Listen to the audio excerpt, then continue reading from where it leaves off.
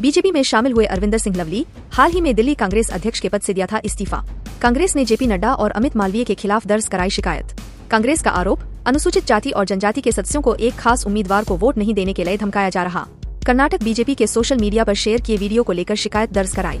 BJP प्रत्याशी पीयूष गोयल के नामांकन को रद्द करने की मांग, बता दें कि पीयूष गोयल मुंबई नॉर्थ लोकसभा सीट से बीजेपी के प्रत्याशी हैं। एक व्यक्ति ने 26 मुंबई उत्तर चुनाव संघ के रिटर्निंग ऑफिसर कोर्ट में आवेदन दाखिल किया है।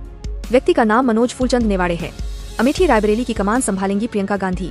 इसके अलावा मल्लिकार्जुन और सचिन पायलट भी करेंगे चुनाव प्रचार। सोनिया गांधी के कार्यक्रम भी तय किए जा रहे हैं। दिल्ली मेट्रो में नाबालिग लड़के के साथ यौन उत्पीड़न। लड़के ने सोशल मीडिया पर बताया, एक शख्स ने उसे बार बार गलत तरीके से छूने की कोशिश की।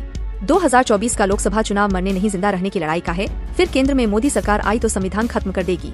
लोकतंत्र खत्म हो जाएगा। आरक्षण समाप्त कर देगी BJP. RJD supremo Lalu Yadav का बयान। सेमीफाइनल में बीआरएस टीम को हराया। फाइनल में पीएम मोदी को हरा देंगे। तेलंगाना के मुख्यमंत्री ए. रेवंत रेड्डी का बयान। कांग्रेस प्रवक्ता राधिका खेड़ा ने छोड़ी पार्टी और कहा, आज अत्यंत पीड़ा के साथ पार्टी की प्राथमिक सदस्यता त्याग रही हूँ व अपने पद से इस्तीफा दे रही हूँ। हाँ मैं लड़की हूँ और लड़ सकती हूँ और वही अब मैं कर रही हूँ। आज की दूसरी बड़ी खबरें दिखने के लिए लेफ़्ट वाली वीडियो पर क्लिक करें।